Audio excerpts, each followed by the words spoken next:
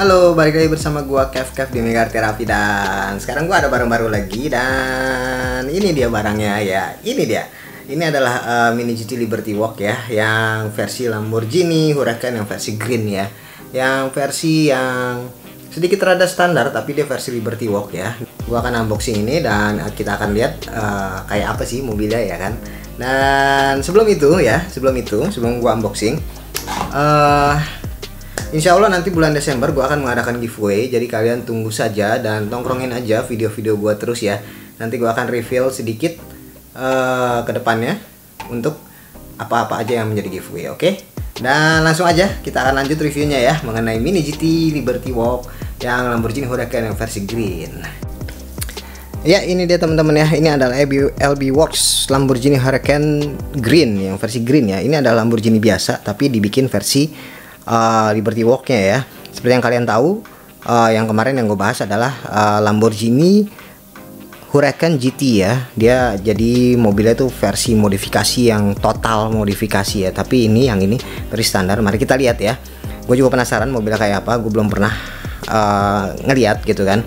Dan ini sudah official license ya teman-teman ya. Official license dia dari Lamborghini ya. Di sini ada logonya ada hologramnya. Kemudian ada hologram dari TSM model dari TSM model dan seperti biasa di sini ada Facebook, Twitter ya.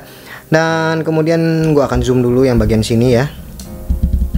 Dan kemudian di sini ada LB Works Lamborghini Huracan version 2 ya, version 2 green right hand drive ya, right hand drive. Jadi ini setir kanan ya.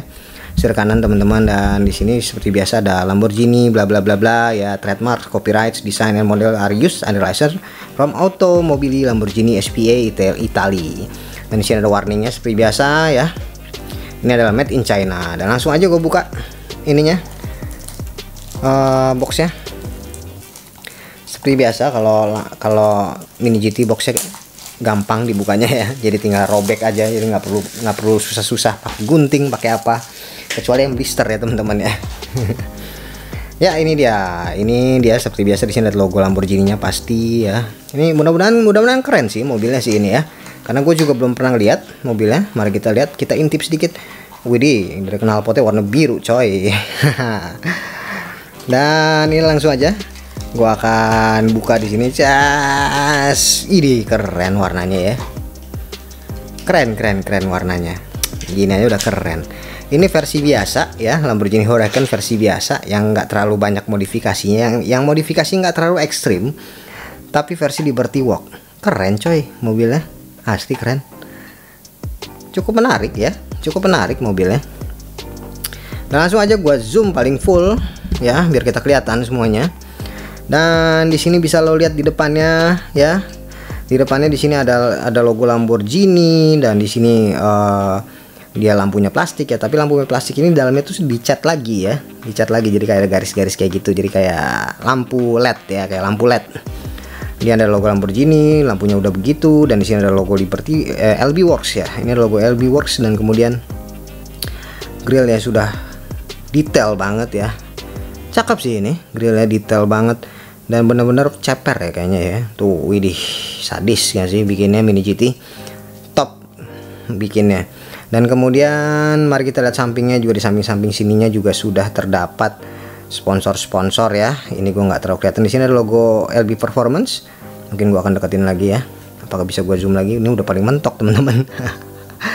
Di sini ada LB Performance dan di sini ada apa lagi? Ini gue nggak terlalu kelihatan ya di atasnya ya.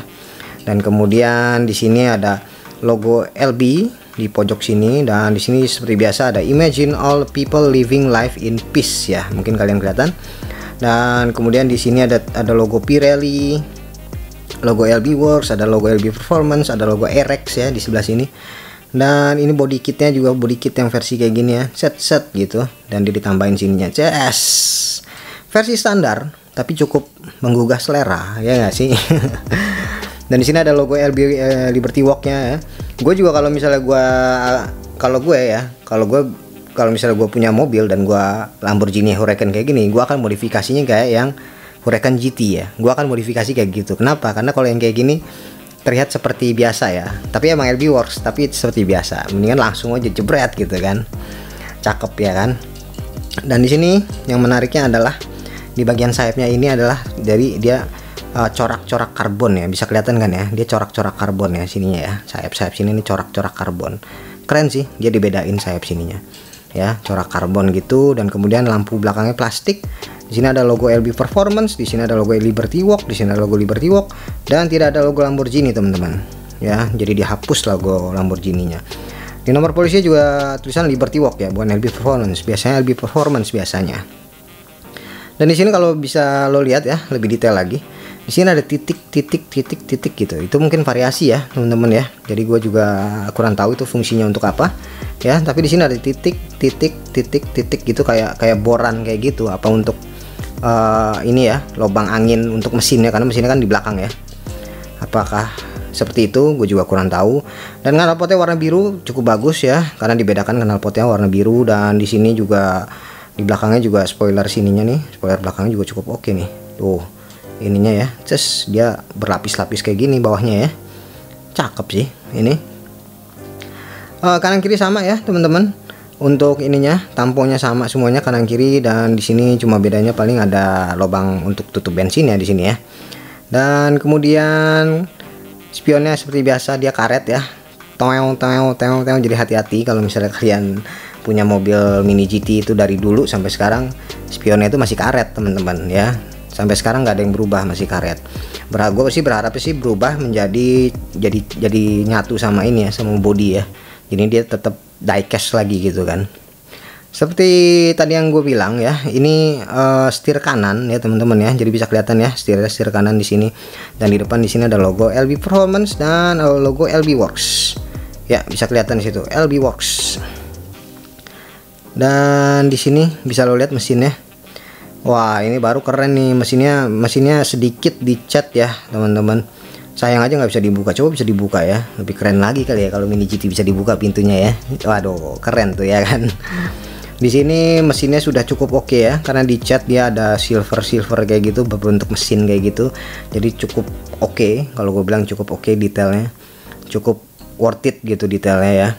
Dan peleknya masih pelek standar warna hitam sayang sekali ya. Sayang sekali harusnya dia dibuat lebih spesial lagi karena pelek hitam kayak gini udah banyak banget ya mini GT pelek hitam kayak gini. Harusnya dibuat dia versi yang versi silver gitu kan. Maksud gue peleknya tuh jadi silver gitu kan tapi jangan hitam kayak gini gitu kan. Kalau kayak gini kan udah udah biasa banget ya. Kita ngeliat mini GT kalian juga kalau punya mini GT yang uh, Nissan GT-R R35 itu juga peleknya juga warna hitam ya. Banyak kan peleknya warna hitam jadi nggak ada spesial spesialnya peleknya gitu kan. Itu dia. Dan kemudian mari kita lihat base-nya. Base-nya tidak flat ternyata. Ini yang gue suka ya. Sayang sekali ya Lamborghini yang versi yang Huracan GT itu masih flat gitu ya. Harusnya seperti ini teman-teman maksud gue. Walaupun dia nggak terlalu detail tapi jangan flat lah gitu kan. Mini GT kan istilahnya perusahaan sekarang udah sekarang itu udah maju ya. Maksud gue ya dibikin lah yang versi yang ada ininya ada apanya ada corak-corak begininya. Itu pak itu gua akan lebih apresiasi. Kenapa? Karena kita beli harganya udah cukup lumayan mahal ya. Mini GT ya sekitar 150 160 gitu kan. Bahkan ada yang 200 yang kemarin ya. 230-an ya harganya ya. Nah itu kita pengennya lebih detail lagi gitu kan. Tapi cukup oke okay ini walaupun nggak terlalu detail ya di sini di bawahnya sini dan dia nggak nyambung ke knalpotnya ya. Ya. Dan di sini tertulis logo Mini GT dan di sini ada logo Made in China. Dan itu dicetak sama mereka. Bawahnya biasanya besi. Ya teman-teman bisa dilihat juga ya kayak gini ya besi. Dan ininya dia bautnya cuma satu di sini. Jadi dia disangkutin ke belakang ke sini ya. Ini juga mengurangi biaya loh. Misalnya misalnya kalau misalnya bautnya cuma satu dia cetakan disangkutin ke belakang kayak gitu ini mengurangi biaya juga ya. Karena umurnya kan kalau misalnya dua kan makin banyak ya nggak sih? Karena dia produksinya juga ya ribuan sampai jutaan mungkin ya. Dan untuk pelek ya seperti biasa dia pelek depan tipis uh, sorry uh, ban depan tipis ban belakang lebar ya kan? Namanya juga mobil sport ya kan? Dan itu dia teman-teman. Ini kalau gua beri gua beri beri rating ini uh, sembilan setengah dari 10 ya. Karena cocok banget mobilnya ya Huracan ini dan rapih bikinnya sih. Kalau gue bilang sih rapih bikinnya. Untuk Mini GT well done ya. Maksud gue ini bikinnya rapih banget ya. Bikinnya rapi banget dan bener-bener kalau misalnya kalian nggak suka yang extreme modification kayak misalnya yang kemarin yang tarmac kolaborasi dengan mini GT ya, kalau yang nggak suka ekstrim ini ada Lamborghini yang versi standar tapi versi Liberty Walk oke? okay? Dan sekian dulu teman-teman. Review singkat dari gua dan sampai ketemu di video berikutnya. Thank you for watching